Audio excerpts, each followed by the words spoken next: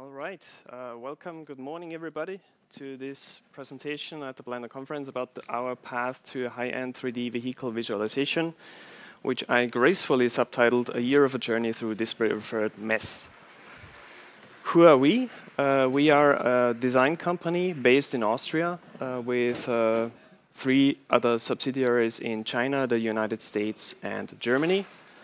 Um, we are specialized in the field of uh, transportation design, product design, brand development, and all of these things. We connect that all up under the hood in one roof. And to do that, we are actually more than 200 creative people at the moment in our main office, coming from 30 different nations.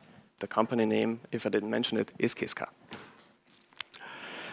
So, where have we been one year ago? Um, we have already been doing for our main client, which is the KTM Sports Motorcycle um, uh, company, um, 3D visualizations for online configurators. You might have seen them around if you went on their website and, and tried things out.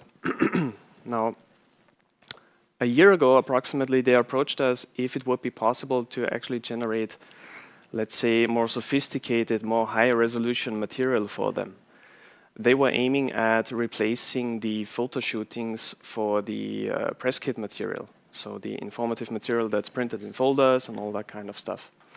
And they were challenging us constantly with an animation of a competitor, which uh, they asked us if we could do something which is uh, similar to that at the same quality level. We had some time to kill, and we came up with the animation, which hopefully plays in a couple of seconds here. Don't worry, there is no audio to it. We just focused on the visuals. We took the 3D dataset, which we already had in place for the configurators, uh, put it into an environment and rendered out this 30 seconds clip, which is a simple box mapped animation. So that's where we already uh, were one year ago. Now, a lot of the presentation here is going to be about Troy Sobotka. Um, we met the guy actually never in person. Uh, we just happened to be in contact with him via email and via uh, chat rooms. But how come we even knew about the name? Last year I gave a talk here about uh, using Blender in design business. And at the end I posted a wish list for the Blender developers. The last point was actually regarding the documentation. And half as a joke, I put his name into the presentation. I was asking if he's in today. I was hoping to actually meet up with him and discuss a few things which we, went, which we came across during the visualization process. His name came from two of the most important wiki pages regarding color management, in my opinion, at the Blender wiki. Uh, one is about color management in general, and the other one about handling the alpha channel, which was really giving us issues all the time. And while reading through the pages, we had the impression that this guy seems to have the answers to the questions which we still had. So he wasn't at the, uh, the conference itself, and I went back home to Austria. But one week later, he happened to actually send an email to our reception um, asking to, to make contact and answer a couple of the questions. A little sidestep to Filmic Blender itself. Um, the first thing which I was able to trace down in the history was a question which was asked on Blender Stack Exchange by a user called Setagon. Um, the link is actually posted here, and he was actually asking about how to render a wide dynamic range in cycles, how to properly handle it. And I was a bit curious about the question because I wondered what's wrong with it. Actually, I had no idea what the, what the real issue is. And in the answer, you can see a couple of these images which I'm presenting here. Um, one thing which is a big problem about the implementation of was until 2.79 was the what's called default view transform. It's an sRGB transform, which basically does the nonlinear part of transforming the pixels on the image, but it doesn't handle the higher level scene referred data at all. It basically clips what's happening on the top of it. Now, Filmic is actually using a much higher dynamic range, as many of you already know, I guess. and is mapping a much, much higher top value to the 1.0 scene referred value that you are going to judge on the screen. And the main issue with the default view transform is basically that if you're using it, you're basing your lighting decisions when you're creating an image on something which, in terms of scene referred values, has been lit by candlelight. So it's, you're using far too low intensities. The shaders never actually do what they were coded for. The second thing which Filmic Blender addresses is the desaturation part. Um, desaturation, we all know this effect from taking a photo. Uh, we overexpose it by accident or on purpose, and we get these huge white blown out areas. But if you think about this from a mathematical point of view, it's actually really complex. Because think about an RGB triplet which only has an intensity in one of the three channels, like 0.800, given in this example. Raise it up really high, throw any kind of, any number of curves at it, it's not going to change in any of the other two channels. It cannot. It's mathematically impossible. Now, Filmic is resolving that by using a three-dimensional lookup table, which is stored somewhere in your system once you have it installed. And it's calling that whenever the intensity values are rising uh, to a certain level. This is a comparison from the same question on the same topic. Top is the default view transform. You can see here the value ranges of scene referred 0.4, 0.8, 1.6. So now the pixels are getting really hot, but the colors do not change at all. They stay put. They are just the same. When you use Filmic and you run the intensities up, first of all, you don't hit the 1.0 red that, that quickly. But second of all, when you raise it further, it turns into white. And white is only achievable if you change all three channels at the same time. So down the rabbit hole we went. Um, if you know Troy, you know that he's got a chat room on Stack Exchange, which he titled The Rabbit Hole. Its solely uh, purpose is to discuss color and color management issues. So we hooked up with him, and one of the first questions that he asked to me is, what does that mean? RGB 1000 what, what's the meaning? If you would need to guess, what would you say? Red color, red color. This is the main answer which you get if you're asking that question, but actually, the, the sad thing is it means absolutely nothing, unless we know the metadata behind it.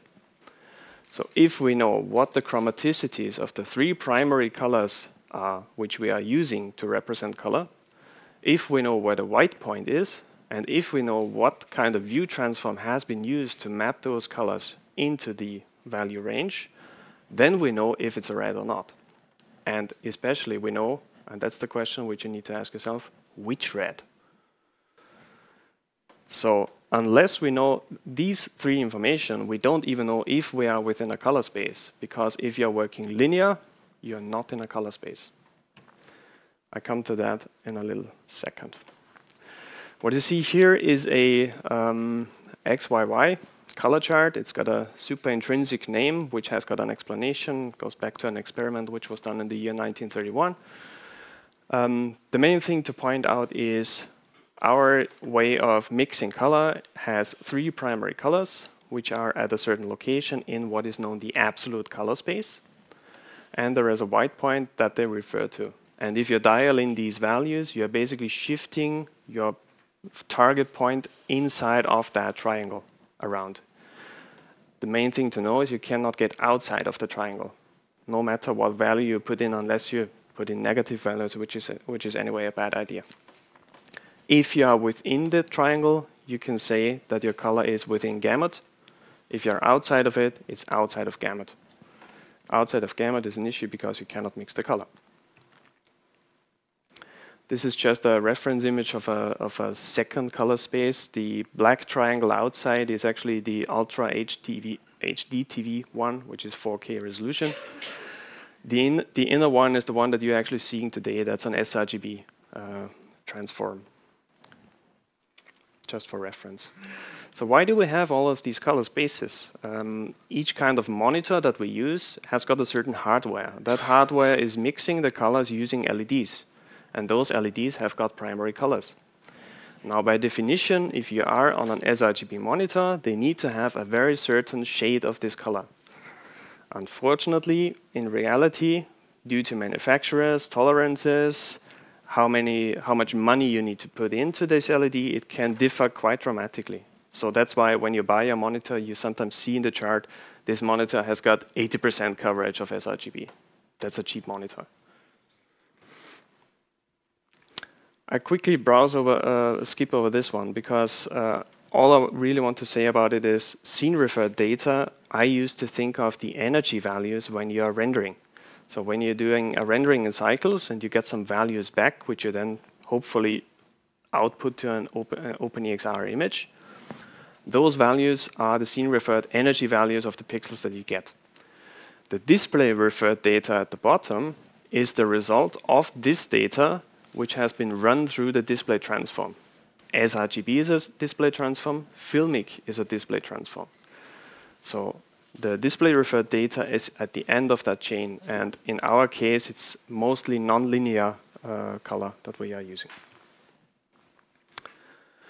So it was time to, to really go down to it and ask Troy some questions, uh, things which were bothering us all the time. And most of the questions actually were more about the alpha channel less about color.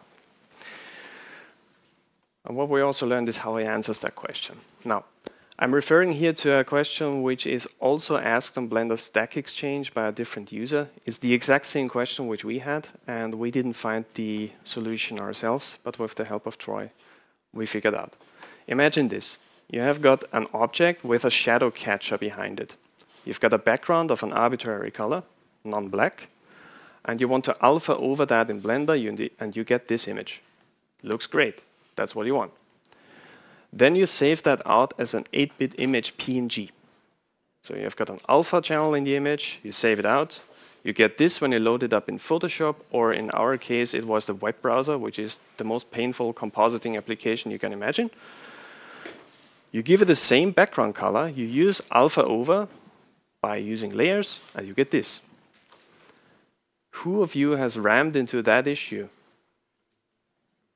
None of you. Oh, a few, maybe. Yeah, one in the background. Great. Did you figure out why? Great. This is your day. So we were coming back to him, asking him that question, and the first thing he asked us, I can see your renderings online. Somehow you are handling it. How do you do it? And we said, um, Basically, we split out color information on alpha channel, and then we manually color manage the alpha. His answer was quite specific on that, because by definition, alpha channel is always strictly linear. There is no nonlinear transformation thrown at it ever. It doesn't matter if you're in 8-bit or in something else. It's always linear.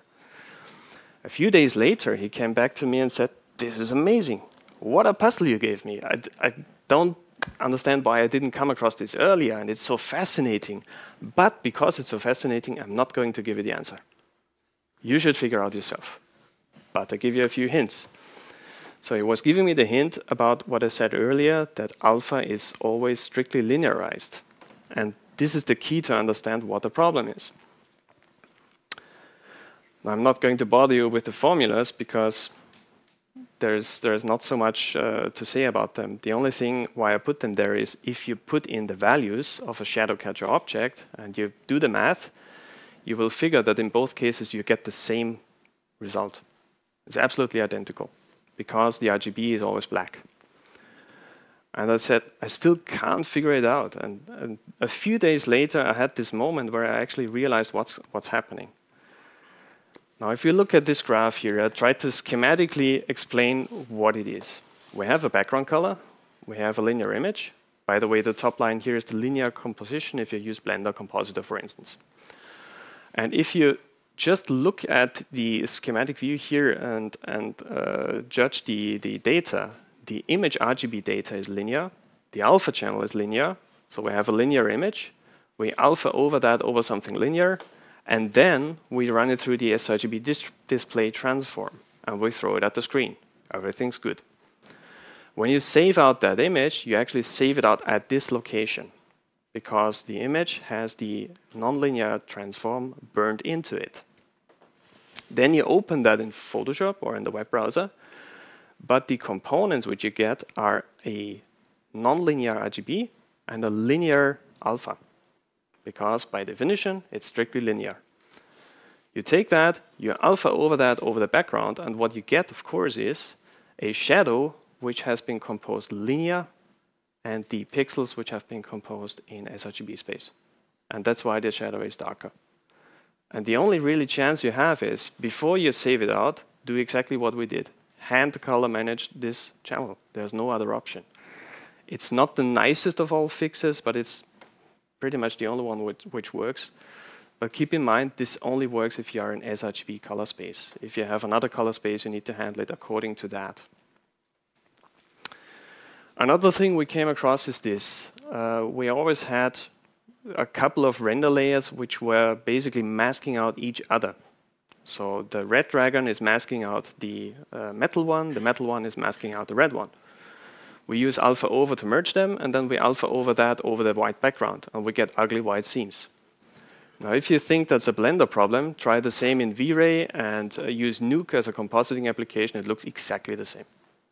It's not a software bug. It's actually, in this case, a simple user bug. we are doing the wrong thing. When we set up render layers like that, the alpha operation to merge those two is not intended to be alpha over. In fact, you simply add all the components together.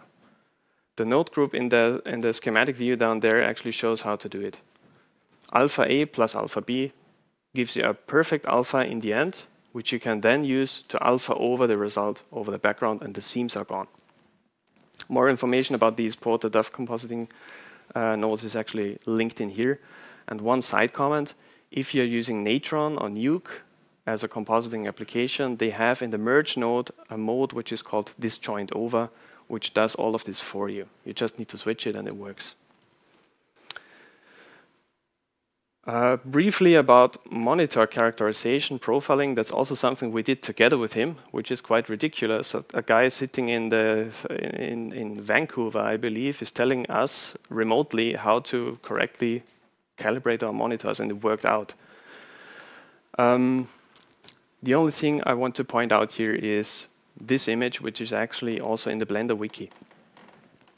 Now, if you look at those lovely blue and green colors, and stare at them for a few seconds, and then you take a closer look at it, you will realize that this chart here perfectly blends with the top and perfectly blends with the bottom because it's the exact same color. It's an optical illusion, of course, and the effect is called chromatic context.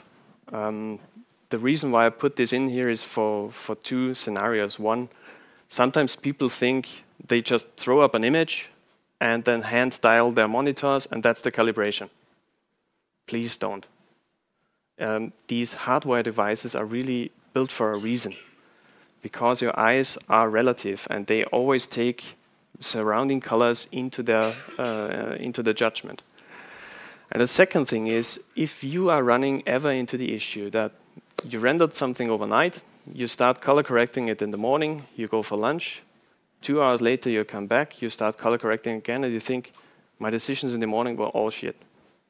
You start to counter correct that, and you counter correct and counter correct. Then you go for, for dinner, um, but unfortunately your client wants it for tomorrow. So in the night, you counter correct what you did in the afternoon. And the next day, you actually start the process again, because what you did in the night is not correct. If you happen to run into this, check the lighting conditions at your office space, because chromatic context has an influence on that. If it's tungsten light or neon light or daylight or morning light, does make a difference. More information can actually be found on this uh, Stack Exchange question here, which explains you how to do the profiling and how to actually handle it. The ICC profile which you get is not used by Blender by default. This is actually correct handling because other applications in the VFX industry also don't do it.